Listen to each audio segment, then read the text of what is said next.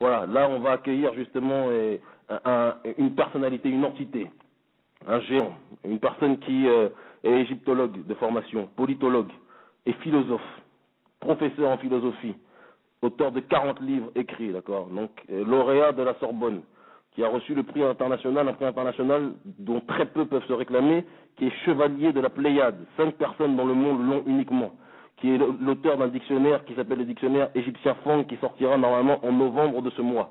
Le celui qui est considéré par les spécialistes comme le plus grand philosophe africain des temps modernes. Et euh, tout le monde sait que je ne suis pas euh, gratuit lorsque je lance des compliments, mais c'est une réalité, on part simplement de faits.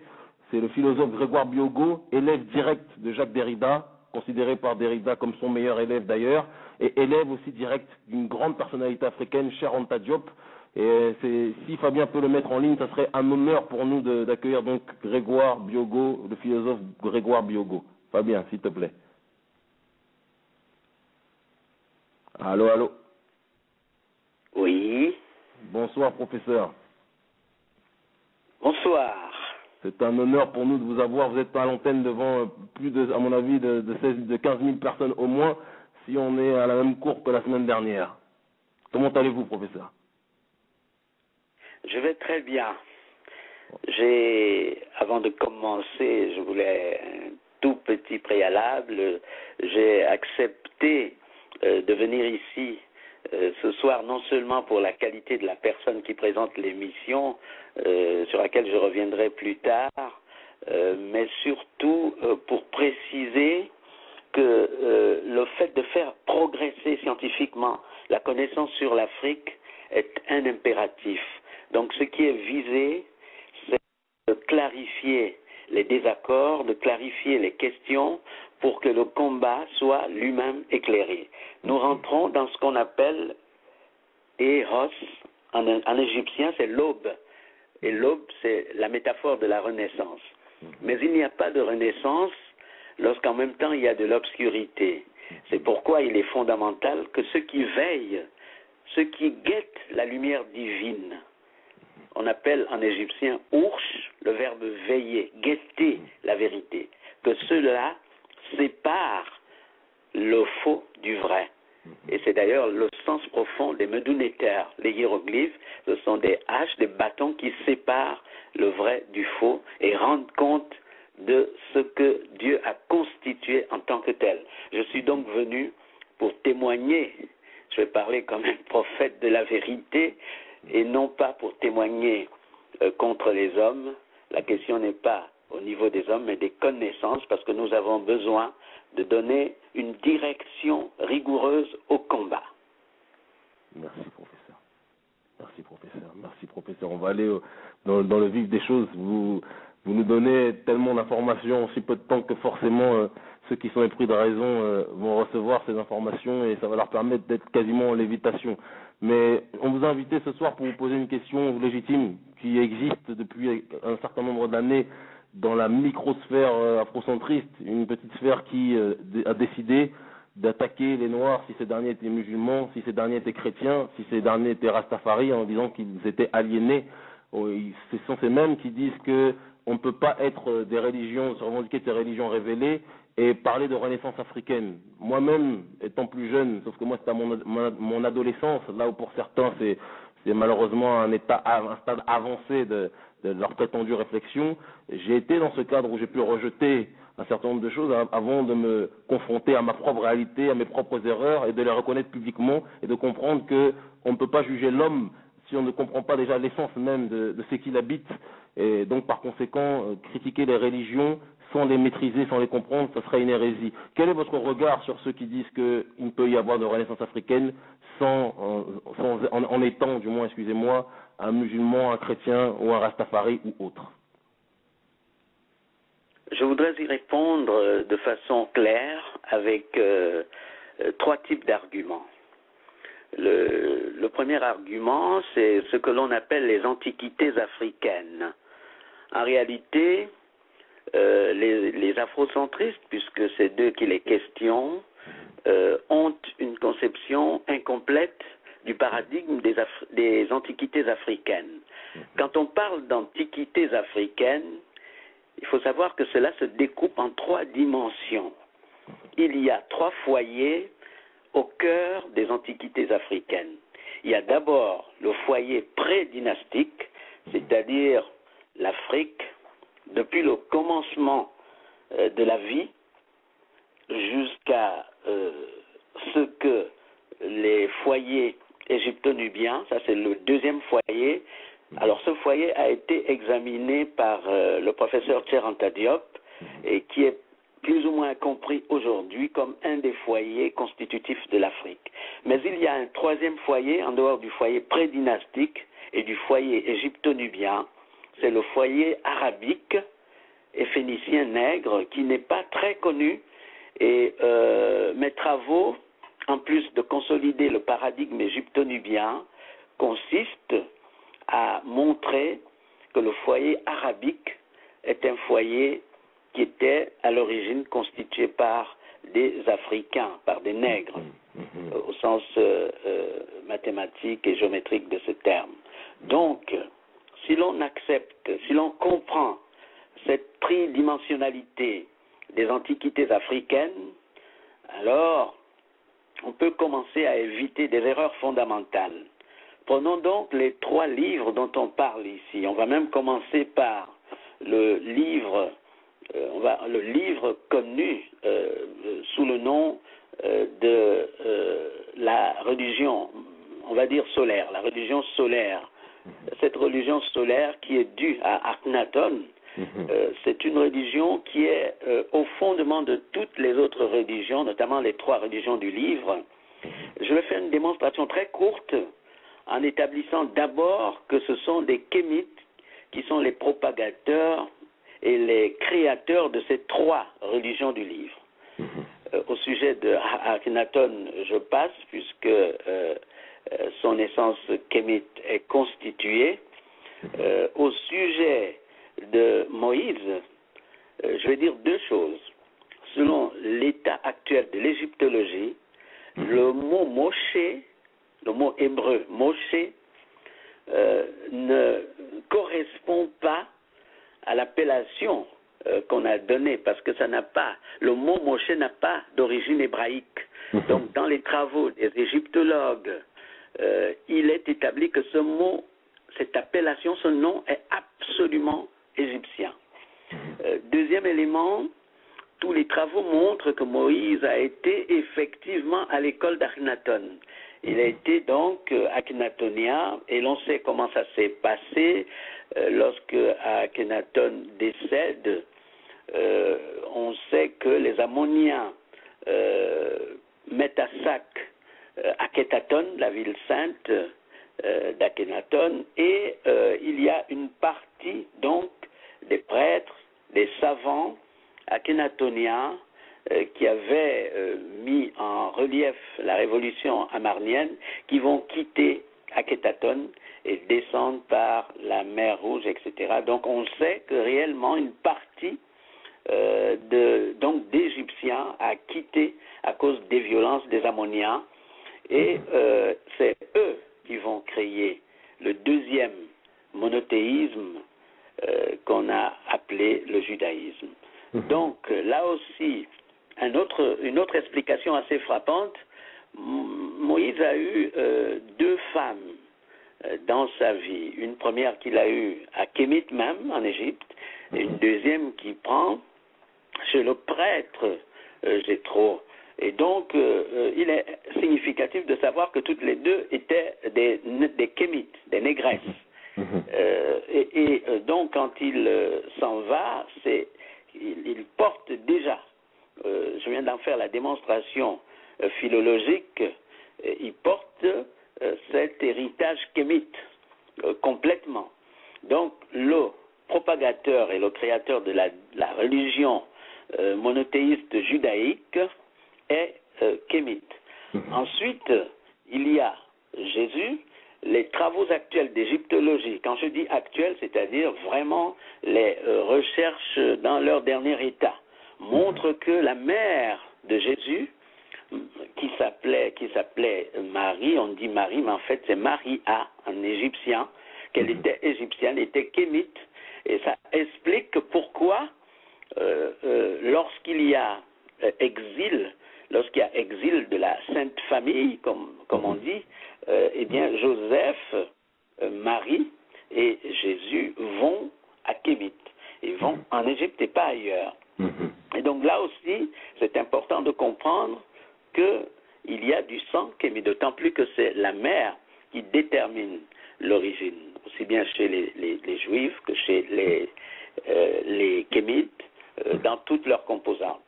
Euh, une autre information euh, très importante, euh, c'est qu'on a quelques indications sur la présence de Yeshua, précisément dans la région de Kémit. On a déjà des attestations là-dessus.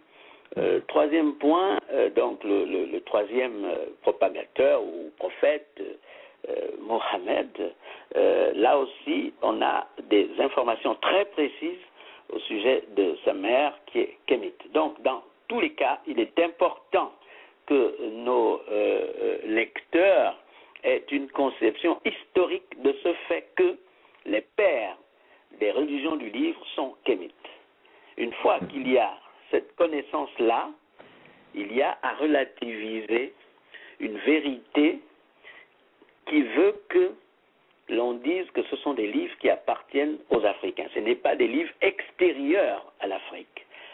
Euh, donc, euh, on peut, pour méthode, s'arrêter là pour établir que si les, pro- les précurseurs des livres euh, révélés ou des livres dits, euh, justement, les religions du livre sont kémites, on peut entendre que les livres qu'ils ont dégagés le soient aussi. Allons maintenant au contenu. On peut faire la démonstration formelle que euh, Dieu est unique.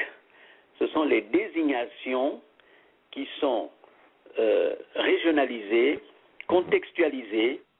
Si l'on prend la tonne d'Akhenaton, on va prendre la Donaï de Moïse, de Moshe. On va prendre, euh, on va prendre euh, l'éternel.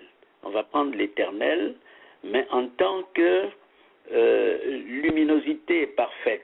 Nous restons au niveau du paradigme de la tonne. On prendra la même chose au niveau des trois critères essentiels de la déité, avec euh, la dernière religion du livre. Les trois critères de la déité, la liberté, la justice et la vérité. Les trois qui se retrouvent dans le concept de Mahat. Et c'est une erreur historique souvent d'évacuer le terme de liberté quand on parle de Mahat.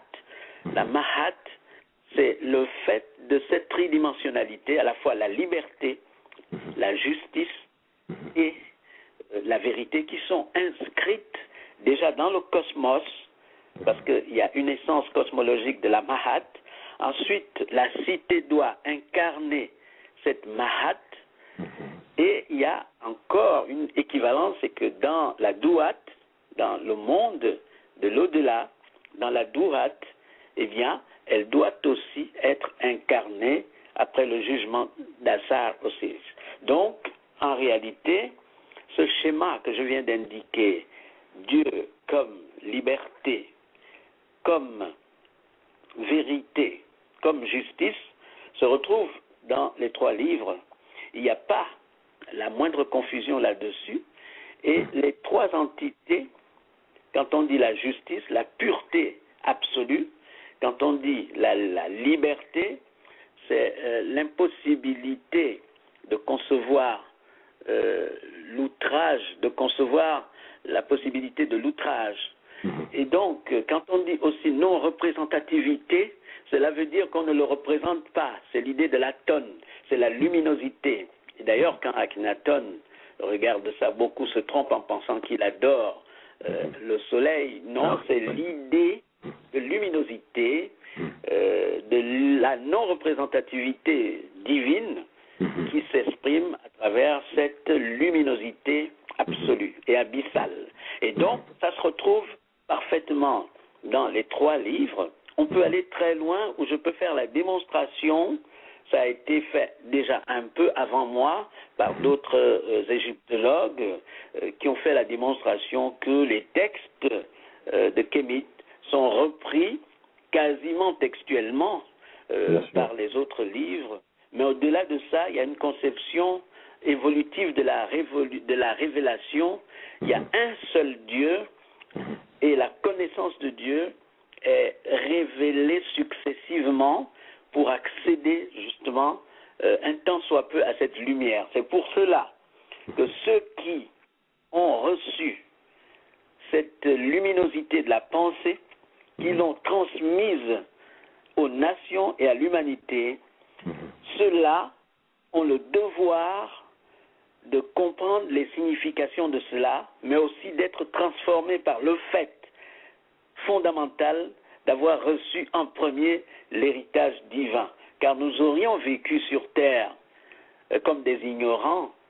Or, il n'y a pas d'horloge sans horloger. Mais nous avons compris qu'il y avait de l'horloger dans cette horloge et nous avons les clés. Et on ne peut pas par la suite dire que ces clés, que cette horloge, nous n'en connaissons pas le fonctionnement. C'est pourquoi ce sont des contre-vérités historiques extrêmement graves que de penser que ces livres soient extérieurs à l'Afrique. C'est donc, pour répondre très précisément à votre question, c'est euh, par euh, déficit d'information scientifique et euh, par incompréhension et par incompréhension. je voudrais terminer avec une petite démonstration au sujet de, du personnage bien connu d'Abraham. Les Écritures disent qu'il s'appelait Abraham et qu'après avoir fait le face-à-face avec l'absolu, il s'est appelé Abraham. Mais quand on regarde son histoire, on voit que ce personnage va prendre femme euh, et on, on décrit euh, qu'il y a Rebecca avec qui il a Isaac. Ensuite, il prend pour femme Agar, Agar qui est kémite. Et avec qui ils ont Ismaël. Ismaël, c'est donc l'Okémite. C'est aussi cela qu'on va appeler les Arabes. Il est important, là aussi, je pourrais y revenir plus tard, de comprendre que Arabes et Kémites, dans cette figure stricte, sont frères. Et c'est une euh, vérité élémentaire pour euh, ne pas comprendre que cela n'ait pas été soupçonné suffisamment. Voilà pour le début de la réponse que je voulais apporter en termes de précision. On vous en remercie profondément, professeur. Et en, en, en, guise de complément, parce que là, même si malheureusement le temps passe déjà rapidement, mais on, on reste suspendu à vos lèvres, comme euh, j'ai envie de dire les disciples de Socrate l'étaient sur euh, les marches. Euh, quand, quand, vous entendez les personnes qui sont en fait des marches justement de vouloir systématiquement opposer et limite diaboliser ou culpabiliser ou traiter d'aliénés d'autres personnes qui pratiquent, qui sont dans la tradition africaine. Parce que quand on va au Sénégal ou quand on va euh, au Mali, dans différents pays, il y a des initiés qui, euh, quelles que soient les religions qu'ils pratiquent, que ce soit le christianisme ou l'islam, sont beaucoup plus initiés que certaines personnes qui se disent conscientes, mais qui ne maîtrisent même pas l'initiation africaine. Quelles sont les motivations réelles, à votre avis, de ceux qui veulent culpabiliser euh, les Africains qui sont musulmans et chrétiens, au Rastafari, et qui se revendiquent du panafricanisme, selon vous, professeur? Alors, je voudrais faire une précision fondamentale entre ce que j'ai appelé tout à l'heure la révélation fondamentale de l'absolu, de l'être suprême, et les usages qu'on a fait de ces religions. Euh, sur la question, euh, nous savons, on n'a pas à nous l'apprendre, qu'il y a eu des usages euh, parfaitement malheureux au sujet à la fois du christianisme au sujet de l'islam, deux religions d'ailleurs qui sont comptables de deux traites. Mais il faut faire la distinction entre l'esprit et les usages.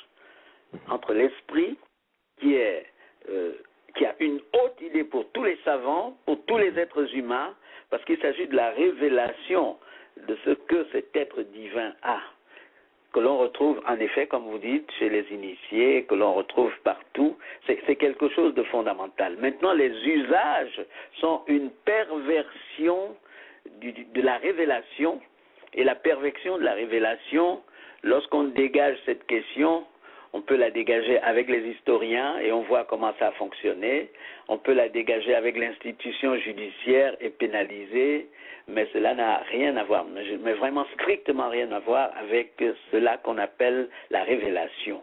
Maintenant, euh, pour la question très précise que vous posez, c'est-à-dire euh, l'incidence euh, que cela peut avoir par rapport au, panafricanisme, c'est très précisément une confusion, encore une fois, euh, qui procède du déficit d'information scientifique et historique et euh, qui euh, peut profondément distraire le principe d'unicité qu'on retrouve, par exemple, entre le monde méditerranéen, l'Afrique méditerranéenne et l'Afrique subsaharienne. J'entends certains dire que Cheranta Diop aurait, dans les fondements euh, de l'État fédéral, euh, aurait dit, euh, aurait mis en époquet, entre parenthèses, le, le monde du Maghreb. Mais il y a là des confusions impossibles. Diop était mouride. Je Mhm. précise que je parle en, en- en qualité de directeur de l'Institut Cheranta Diop. Euh, J'ai eu l'occasion de voir les griots de la Sainte, euh, mais vraiment des gens qui ont été euh, à, la racine des choses. J'ai été moi-même à plusieurs reprises au Sénégal. Cheranta Diop a été mouride de culture, de tradition intellectuelle. Et euh, on ne peut pas se réclamer de ce penseur, de ce savant. C'est pourquoi au sujet des afrocentristes, euh, je voudrais le dire avec gravité ce soir, je, crois que c'est faire de l'amalgame que c'est de réclamer de Cheranta Diop euh, pour valider les thèses divisionnistes. Euh, Diop n'est pas divisionniste. On sait à quel point il était pour euh, la conception euh, continentaliste de la pensée panafricaine. Euh, comme les pères fondateurs, euh, comme Nkrumah, c'est la même chose, qui a intégré toutes les religions du livre et celles euh, prédynastiques, celles du continent africain. Et, et donc, euh, l'idée séparatiste euh, est de l'idéologie doublée du déviationnisme. Mhm. Et ce sont des scories qu'il faut écarter lorsque nous parlons de l'État fédéral. L'État fédéral, c'est celui qui fédère sur la base géographique, sur la base du contenu euh, politique et économique et sur la base de ces textes dont nous venons de parler, qui sont la propriété du continent africain. Et c'est à entendre ça une fois pour toutes. Et de ce point de vue, ceux qui euh, continuent de défendre l'idée que ce sont des textes étrangers et que ceux qui pratiquent ces religions seraient aliénés, euh, je n'ai même pas besoin de faire de la dialectique ce soir en leur retournant l'aliénation parce que leurs propos sont parfaitement aliénés. En réalité, il y a un vrai problème, et je vais le dire de manière claire. L'objectif qui est celui euh, des chercheurs et des savants africains, c'est de faire progresser scientifiquement les connaissances de l'Afrique et sur l'Afrique. Et donc cette position est régressive parce qu'elle ne fait pas progresser scientifiquement les connaissances relatives à l'Afrique. À partir de ce moment, elles sont réactionnaires, révisionnistes et euh, devraient, méritent d'être réfutées, comme je le fais ce soir, en en montrant la fausseté, en les écartant du combat. Et nous devons les combattre avec rigueur au niveau de la démonstration. Je distingue entre combattre la pensée, les idées et euh, la réduction à l'homme. Nous devons les combattre avec la dernière rigueur parce qu'elles procèdent de l'ignorance. Professeur, professeur, Biogo, une, question me vient à l'esprit, même si en réalité c'est une question que j'avais dans le cœur depuis un certain temps. On a déjà échangé à ce sujet, mais je pense qu'il est important que les auditeurs puissent entendre les mots émanant du savant que vous êtes. Euh, Est-ce qu'on ne pourrait pas comparer quelque part ce, côté, cette tendance divisionniste qu'a cette microsphère afrocentriste au final qui va malheureusement pour elle, parce qu'elle n'a aucun impact dans les rues en banlieue, à part quand elle se cache au milieu des manifestants et qu'elle essaye d'imprimer son idée, ce qui ne marche pas vraiment. Mais est-ce qu'on ne pourrait pas comparer cette volonté de diviser à cette démarche qu'avait Mobutu lorsqu'il s'opposait au panafricanisme de Nkrumah, Kwame Nkrumah, de Gamal Abdel Nasser, qui voulait une vision, qui voulait avoir une vision unitaire de l'Afrique, euh, donc du Maghreb et de l'Afrique subsaharienne, là où Mobutu voulait promouvoir un négrisme qui en réalité était financé par la CIA et par Israël. Donc, est-ce que quelque part on n'a pas aujourd'hui encore les mêmes financiers? C'est une question que je vous pose. Ah, vous faites bien de poser cette question euh, dans toute sa radicalité parce que nous sommes à l'épreuve de la vérité.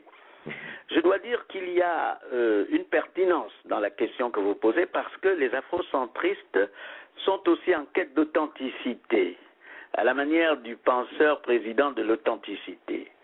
Ils recherchent l'authenticité. Et d'ailleurs, c'est cela qu'on appelle le culturalisme, parce qu'il n'intègre aucune contradiction historique, il n'intègre aucune pensée économique, il n'intègre aucune pensée politique, il n'intègre aucune connaissance rigoureuse des institutions de sociologie politique, et ils ont une conception extrêmement euh, métaphysicienne ils n'ont pas de conception dynamique de l'histoire. Ils sont en dehors de l'histoire. Ah, ils ont une conception introuvable et fantasmagorique de l'Afrique.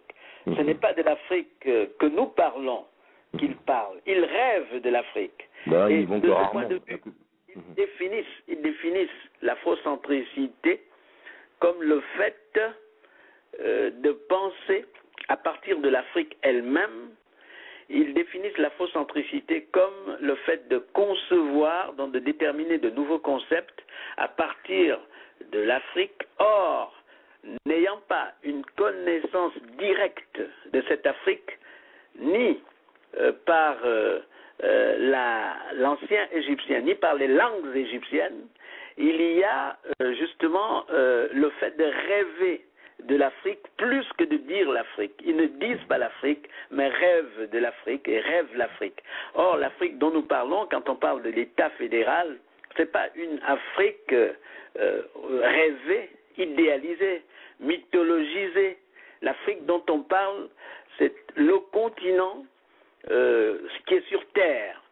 Et quand on parle de la Terre, ah, voyez, vous me faites penser tout de suite à ta, ta, ma, ta mairie, la terre aimée. C'est de la terre aimée que nous nous parlons. On dit encore ta terre, la terre sainte. On dit encore ta terou, la terre des dieux. Et euh, on ne peut pas rêver ça. C'est quelque chose qui est trouvable. Ce n'est pas une Afrique introuvable. Maintenant, quant au deuxième axe de votre question, euh, on peut en effet euh, poser la question de savoir qui finance cette contre-culture, dans la mesure où il y a d'un côté, en effet, la ruse de l'histoire qui a voulu que le même Mobutu, euh, qui s'est trouvé coupable, mais de la chose la plus grave de l'histoire, lorsqu'on enlève quelqu'un qui a une vision messianique, euh, comme Lumumba, je précise qu'il y a un livre sur la pensée politique de Lumumba, beaucoup de personnes ne connaissent pas ce livre, qui est préfacé par Jean-Paul Sartre. On trouve aux éditions Présence africaine.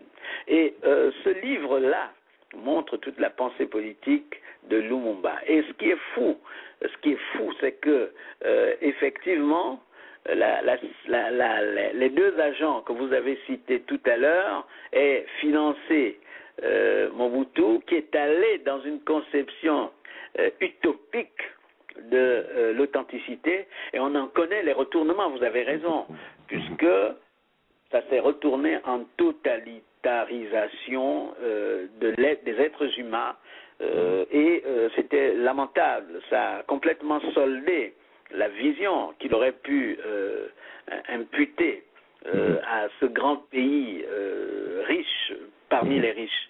Et donc, le risque, en effet, c'est d'avoir une conception qui restaure euh, toute la conception la plus, euh, la plus intolérante, la plus, euh, on va dire, rêveuse de l'Afrique, en même temps que au niveau du financement et de tous les partenaires, euh, nous ne nous retrouvions pas.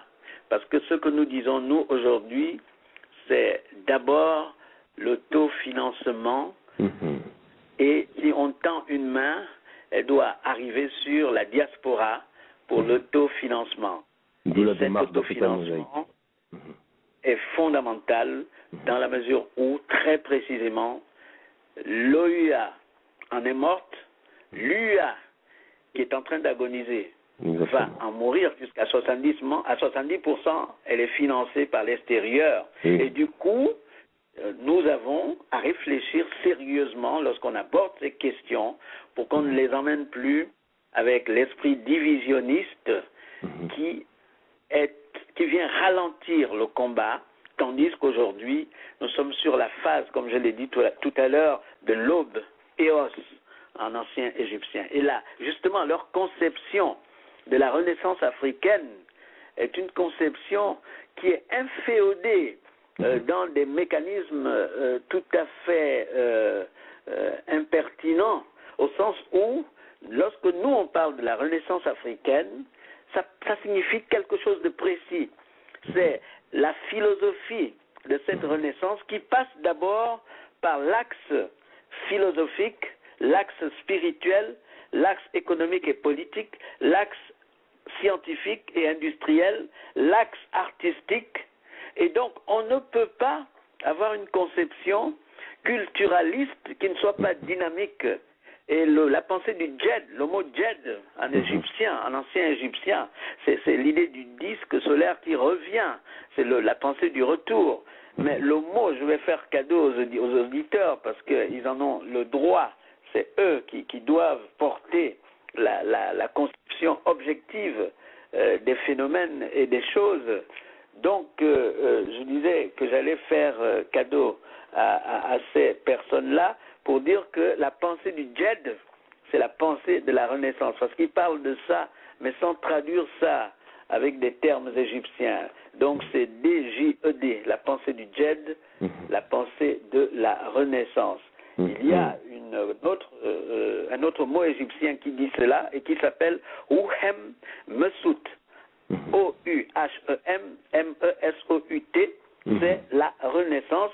Ouhem Mesut. Nous avons des concepts, nous avons des éléments qui disent euh, le principe de la renaissance, non pas d'une naissance qui s'appuie sur une pensée dévoyée, sur des institutions dévoyées, mais sur quelque chose de dynamique qui a la possibilité de se propulser vers le, vers le devant. Comme, vous voyez, je pense toujours en science, il y a beaucoup d'étapes lorsque l'être humain a refusé d'être euh, couché, lorsqu'il a refusé de se coucher, lorsque l'homme a opéré ça pour la première fois chez Kémit, dans notre continent, c'est-à-dire refuser l'attraction terrestre, refuser la pesanteur, c'est homo erectus, se lever, se dresser, se dominer et marcher les yeux ouverts contre toute pesanteur. Voici la signification de la Renaissance, et non pas des conceptions faibles, amusées et gauchisantes. Nous avons besoin de résister aux contradictions et d'avoir les yeux ouverts en assumant les pertes, les difficultés, les contradictions, les échecs, mais en dépassant tout cela. Et on doit faire comme Homo erectus qui se tient debout contre la pesanteur et qui marche et qui emmène avec lui la totalité de l'humanité. Car il n'y a pas de racisme là où l'homme est apparu en premier. Il n'y a pas possibilité de racisme, puisque si on lit la science moderne au sens strict, si l'homme est apparu en Afrique noire en premier, Mhm. cela signifie que par la glaciation et tous les autres phénomènes géographiques, il y a eu la coloration, Mhm. la, la variation des couleurs. Des couleurs de qui? De ce premier homme. C'est ce qu'on appelle la théorie monogénétique. Mhm. Il s'agit de nos frères. Il s'agit du même homme. Les Noirs ne connaissent pas la pensée de la division. C'est pourquoi il faut relire la science. Il faut relire les livres, justement, pour ne pas faire les erreurs dont le futur ne nous pardonnera pas, parce que nous sommes condamnés à marcher comme homo erectus contre tous les vents, tous les alizés. Nous sommes condamnés à mettre le pied de l'avant, à maintenir l'équilibre. Merci, Voilà. professeur. Merci professeur pour ce témoignage vibrant qui euh, veut dire rempli d'émotions, je pense, des milliers d'auditeurs ce soir. En priorité, moi-même qui vous qui, qui ai demandé, euh, qui vous a effectué cette demande en tout cas pour que vous puissiez être notre invité. Euh, un dernier mot, s'il vous plaît, professeur, sachant qu'on a largement dépassé le temps. En réalité, je devrais déjà être en train de débattre avec euh, Well euh, de, de, Sciences Po, mais votre témoignage pour moi est, est, est au-dessus de tout, en, en, ce sens qu'il élève la réflexion de, de chacun d'entre nous, il élève le, le raisonnement, il, il, nous illumine et nous pousse à nous replonger dans nos fondements pour euh, essayer d'y voir s'il si il y a de la solidité ou au contraire de la fragilité, de la fébrilité. Euh, un dernier mot, professeur, s'il vous plaît, euh, pour les auditeurs. Et, Alors, sur le dernier mot, je dirais que au sujet de cette émission, elle est tenue par quelqu'un qui a lui-même une mission. Je vais répéter la mission, la conception programmatique du nom que vous portez. Lorsqu'on dit bas, c'est enseigner, c'est la sagesse, c'est aussi l'étoile, mais c'est aussi soigner. Et donc quand on dit Kémy Seba, c'est le pèlerin de l'enseignement au niveau de cette grande communauté qui s'éveille. Car après le réveil chinois, l'autre réveil, ce sera le réveil du continent africain. -hmm. Et euh, je pense que cette conception programmatique de votre appellation a du sens. C'est pourquoi, je vous l'ai dit, je vous le redis ce soir sur l'antenne, j'ai accepté de vous prendre comme disciple de l'enseignement philosophique fondamental pour remettre entre vos mains les héritages, comme le professeur Tcheranta Diop m'a laissé. C'est vrai qu'on connaît beaucoup euh, notre aîné Théophile Obenga, euh, mais moi, je suis, comme je vous l'ai dit tout à l'heure, je suis celui qui veille et celui qui garde euh, de manière originaire les acquis. Et j'aimerais que vous marchiez dans cette direction pour la postérité. Merci infiniment, professeur, pour ces mots. Et, c'est parce que je n'aime pas montrer trop d'émotions à l'antenne que je je ne m'attarderai pas dessus, mais je pense que voilà, c'est un message pour tout le monde et, et je, je tenterai faire tout ce qui est en mon possible pour me montrer digne de cette formation qu'on a qu'on a déjà débutée, cette formation de, en, en, philosophie. Et euh, l'autodidacte que j'étais et que je suis toujours, mais sauf que désormais je suis euh, sous la vous ne serez plus, vous ne serez plus autodidacte, encore que ce mot est de la fierté. Les autodidactes gardent ce que les institutions ne phagocytent pas. Et il y avait une noblesse dans la conception de l'autodidacte. Mais vous serez vous, le docteur. Et c'est pourquoi je vous ai nommé, en ma qualité de président du MAP, du mouvement d'action panafricain, je vous ai nommé mon porte-parole sur tout le continent africain pour que le discours que nous avons maintenant soit un discours dynamique et de développement et pour que le nouveau message de l'avenir soit non plus comme euh, l'invité le disait tout à l'heure, non plus la critique stérile de l'Occident, la critique stérile de nos institutions, mais euh, canaliser la, critique sur la notion de norme. La norme est unique. Si il y a des accords avec l'Afrique, tenons-nous-en aux normes, aussi bien les Africains que ceux qui viennent, qui sont nos partenaires. La nouvelle Afrique, le nouveau panafricanisme, c'est l'âge normatif. Et comme vous le savez, ça sera mon dernier mot. 2012, tous les savants l'annoncent, c'est l'âge des versos, c'est l'âge du continent africain, ils appellent ça l'âge noir. Alors ne dormons plus, levons-nous comme Homo erectus et affrontons les alizés pour enseigner la grande civilisation que nous portons à l'humanité qui ne connaît pas cela, parce que l'humanité a produit la civilisation pour l'instant de la domination, la civilisation de la violence, mais nous avons, nous, nous sommes porteurs d'une civilisation, nous devons la donner au monde pour qu'il y ait véritablement notre contribution comme on l'a fait il y a 5000 ans. Merci. Très bien. bien. Entendez-vous Voilà, là on vous entend mieux a priori. Parfaitement. Je disais donc qu'il était important de relever que la philosophie est née avec les Éthiopiens, c'est en Éthiopie ancienne, ce que l'on appelle la Nubie, c'est là que la philosophie est née sous la forme éthique, c'est-à-dire euh, de morale individuelle. Ensuite, l'Égypte a pris le relais en inventant la géométrie, en repensant la totalité de ce qui est à l'aune de la pensée philosophique. Je reviendrai dessus tout à l'heure. Et seulement après, les Grecs qui sont venus en Égypte ont été les élèves des prêtres et euh, ont ramené pour la première fois cet enseignement en euh, Grèce, euh, notamment à Milet.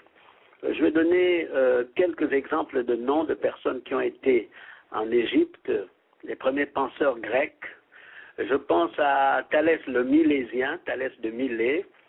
Alors Thalès, nous le connaissons très mal parce qu'il n'a pas vraiment laissé euh, de texte. Euh, tout ce qu'on sait de lui, euh, c'est qu'il a écrit des, des, éléments qui sont en déperdition.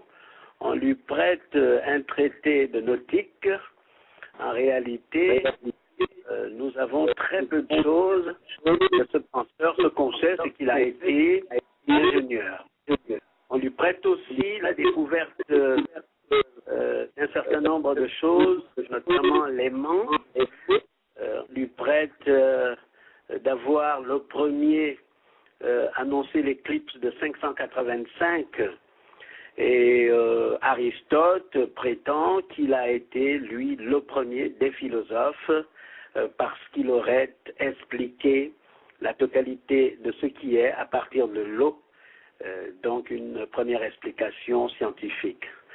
En réalité, Thalès de Milet a été en Égypte et je vous donne rapidement huit personnes qui attestent de cela. Et je fais exprès de ne pas donner les sources hiéroglyphiques euh, dans la mesure où ce sont les Grecs eux-mêmes qui attestent euh, justement de la présence euh, à Kémite de Thalès de Milet. Alors il y a d'abord Hérodote, considéré comme le père de l'histoire en Occident, euh, Diogène Laërce, premier historien euh, de la philosophie occidentale, Aetius, Plutarque, Flaccus, donc Procus Flavius Joseph, Simplicius, Platon.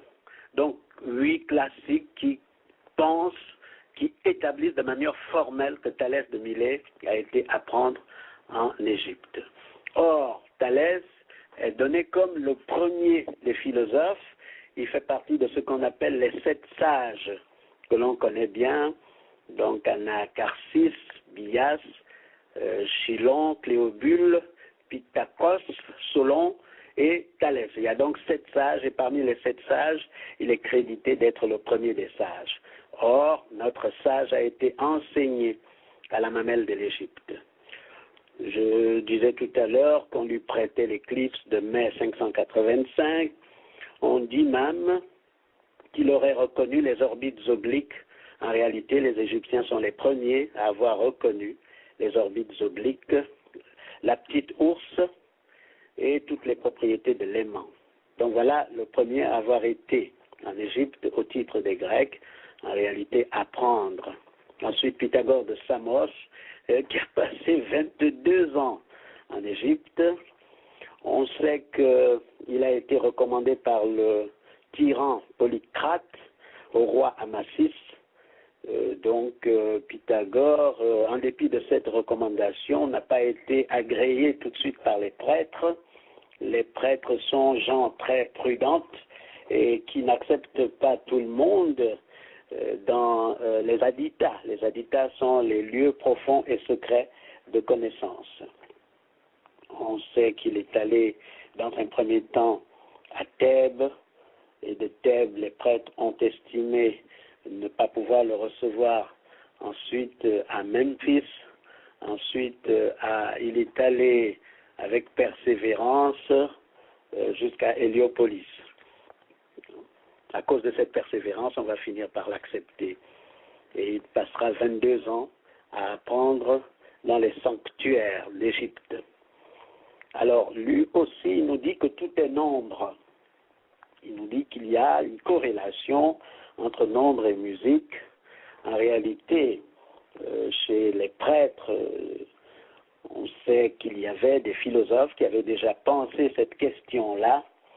Et pour ceux qui ont commencé à me lire, euh, j'ai écrit un livre qui s'appelle Origine égyptienne de la philosophie, où je mentionne six catégories de prêtres et je spécifie les inventions de ces prêtres, lesquels précisément ont déterminé la théorie du nombre euh, que nous attribuons souvent à Pythagore sans même faire attention à l'antériorité égyptienne de cette théorie. Donc, euh, nous avons une catégorie de prêtres qu'on appelle les prophètes. C'était les plus élevés des prêtres et c'était les plus savants de toute l'Égypte.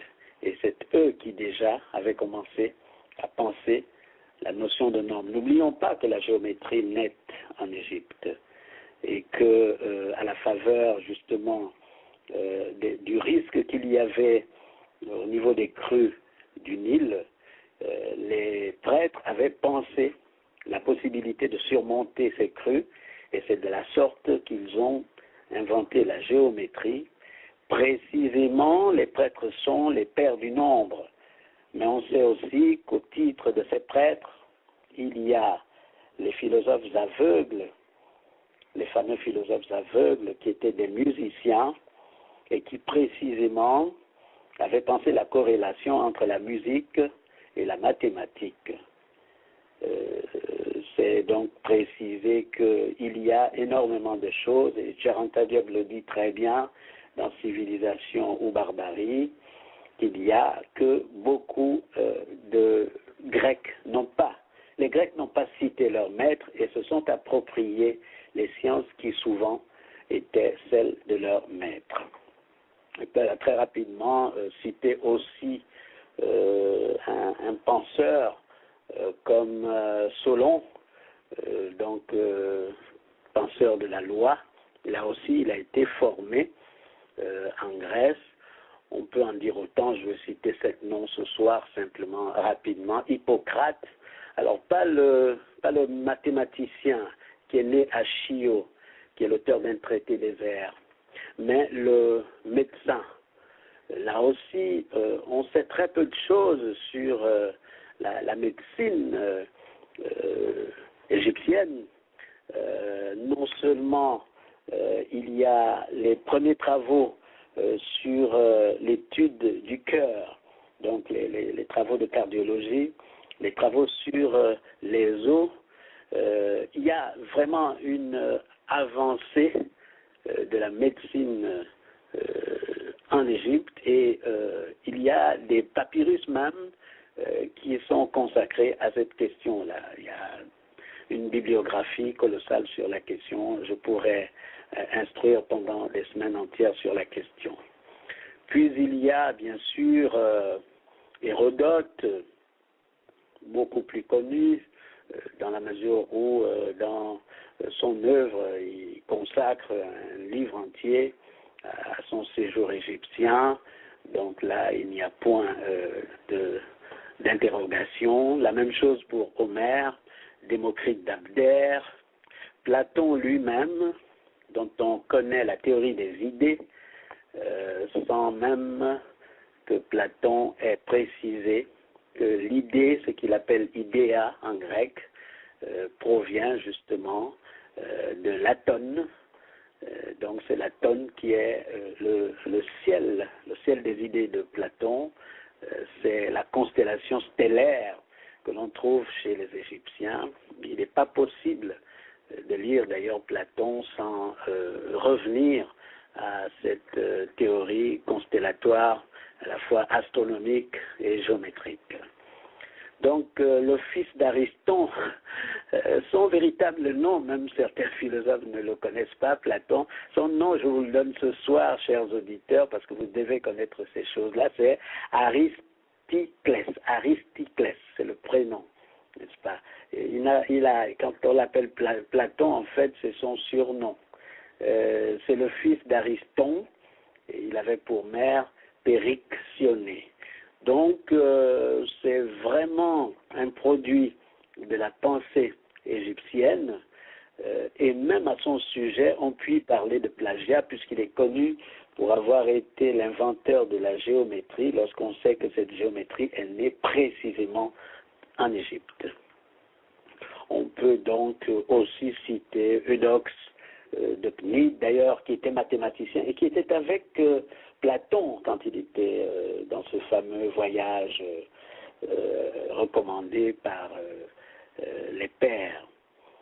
On peut donc, pour aller vite, dire qu'en réalité, la philosophie, même dans sa déclinaison laïque grecque, c'est-à-dire un discours euh, qui est prononcé par les amis de la vérité, Philaine, hein, Philaine, Sophos, Sophon, donc les amis de la vérité. Cette définition qui laïcise la vérité, qui laïcise euh, l'enseignement de la philosophie, est en effet la particularité grecque. Mais au commencement, la philosophie est un discours élevé, pensé sous l'angle cosmique, d'où l'importance de la notion de Mahat.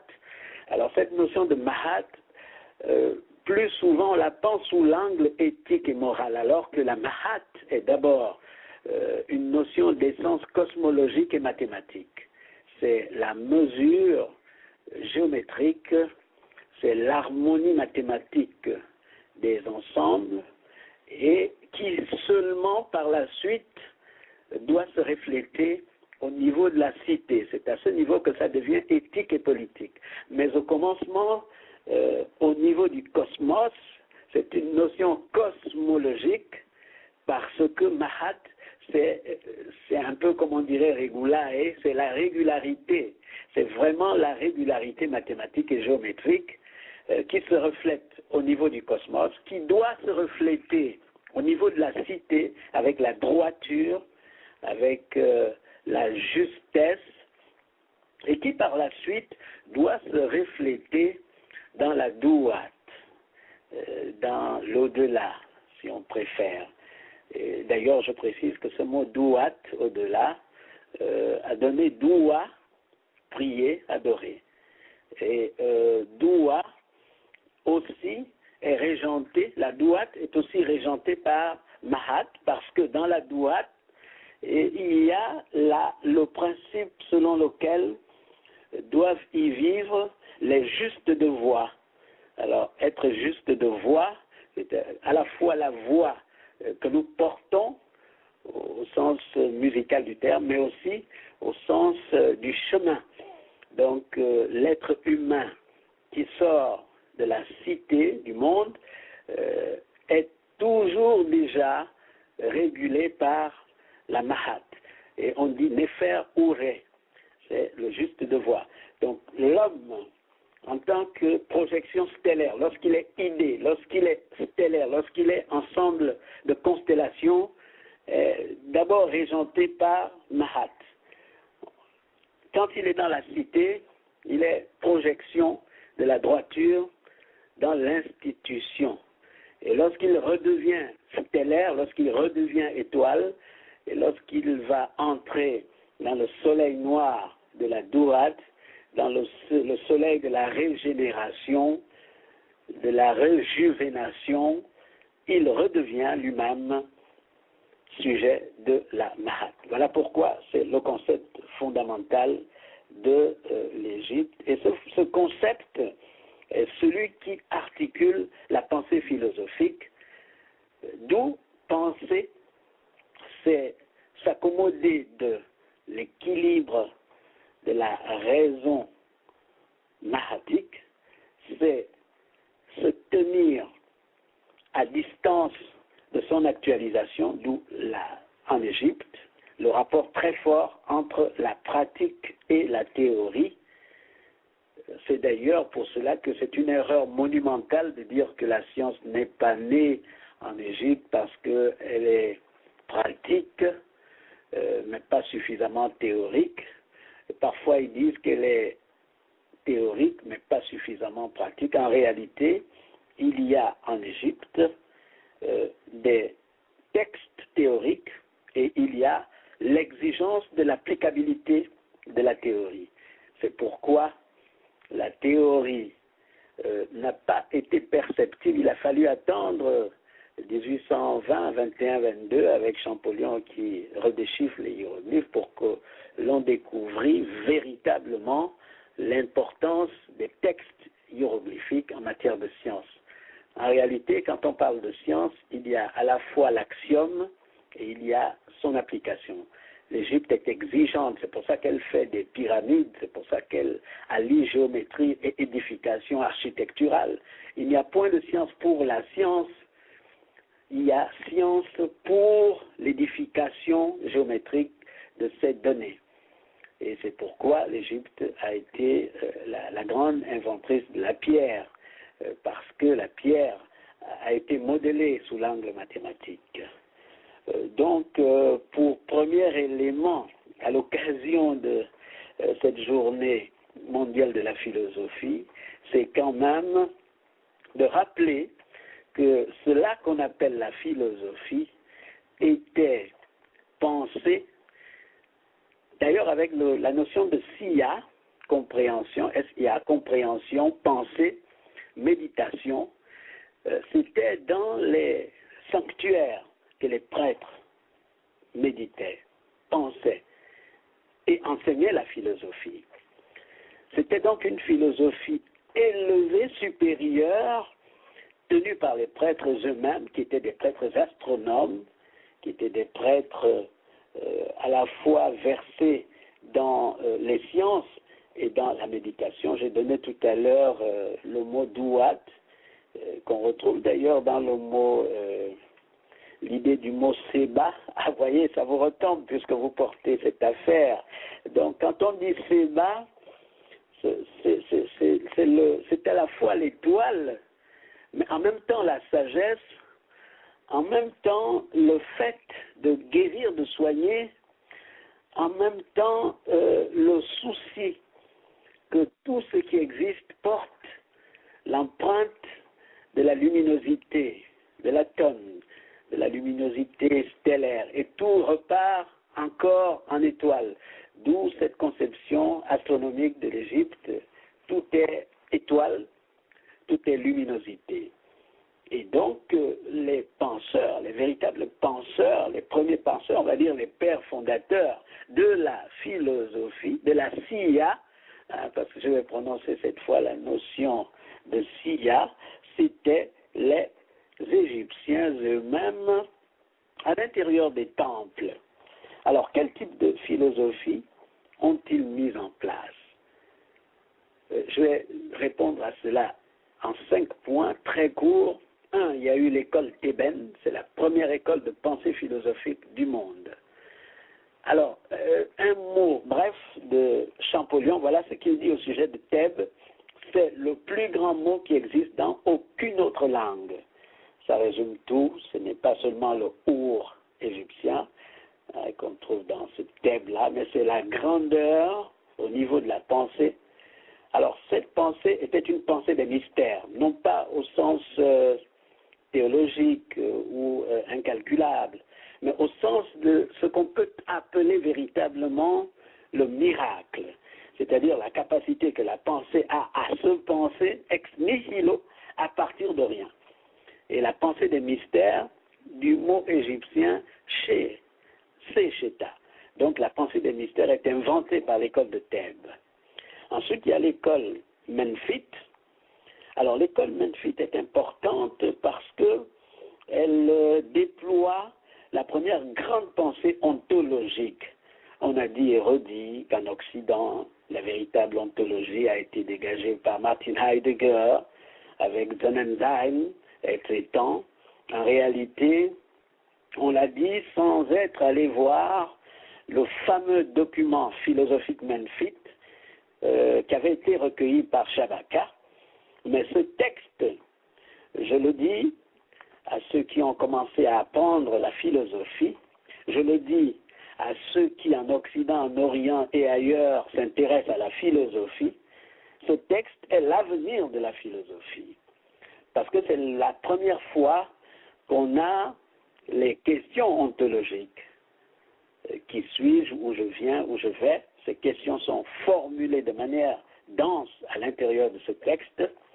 Et on a les deux grands maîtres de l'école Memphis, donc Knoufis et Pamenès. Alors, Kenophis et Pamenès sont les fameux maîtres qui étaient des prophètes, au sens du philosophe le plus élevé. On peut y voir la notion de prophétie parce que le philosophe pensant, étant l'ami euh, de la mahat, c'est-à-dire de la mesure et de l'intelligibilité dans tout ce qu'il dit, dans tout ce qu'il voit, dans tout ce qu'il lit, euh, il y a une dimension de prédictibilité, comme on dit en physique et en mathématiques. C'est-à-dire qu'il arrive effectivement la dimension de la prédiction. Et ce niveau de philosophe, on l'appelait les prophètes. Alors, euh, on trouve déjà cela dans l'école Menfite. Il y a aussi en trois l'école héliopolitaine. Alors, euh, je peux vous citer quelques grands prêtres, euh, mais aussi des prophètes dans cette tradition. On trouve Ouanophis, Seknophis et Xénomès. Alors, Xénomès, le Xénopis a été vraiment un grand penseur. Ce sont des gens qui ont éclairé l'école héliopolitaine. Héliopolis, euh, comme on sait, est l'appellation euh, parfaitement grecque. J'ai voulu garder les appellations grecques ce soir pour montrer que même sans qu'on réfère euh, aux sources euh, hiéroglyphiques, les Grecs eux-mêmes euh, attestent de l'antériorité de la philosophie chez Kémita. Or, précisément ici, ce sont les Grecs qui attestent de la supériorité de, la pensée égyptienne. je ne veux pas vous embarrasser de ça ce soir, sinon on peut passer une soirée à citer les penseurs grecs eux-mêmes qui ont euh, mot pour mot témoigné de la supériorité de la pensée euh, égyptienne sur celle des disciples. Il y a l'école, bien sûr, amarnienne, qui pour moi a une touche particulière. Et je, je n'ai jamais compris d'ailleurs tout le procès qu'on fait à la Marna à l'école akhénatonienne. Je vais dire deux mots là-dessus pour euh, réduire les équivoques. Akhenaton, Ak, c'est la lumière éternelle, c'est euh, la luminosité divine qu'il y a en chaque être humain. C'est euh, la luminosité parfaite, non représentable, mais absolue qu'il y a en Dieu lui-même. Donc Akhenaton, c'est euh, c'est celui qui porte cette lumière en lui et qui euh, en est le messager. C'est pourquoi il est aussi prophète au sens le plus élevé du terme. Et son texte, son fameux texte, l'hymne euh, révèle pour la première fois, là encore, certaines personnes disent oui, mais l'Égypte n'a pas créé le monothéisme, ou alors certains égyptologues disent que le monothéisme euh, était connu avant Akhenaton. on peut.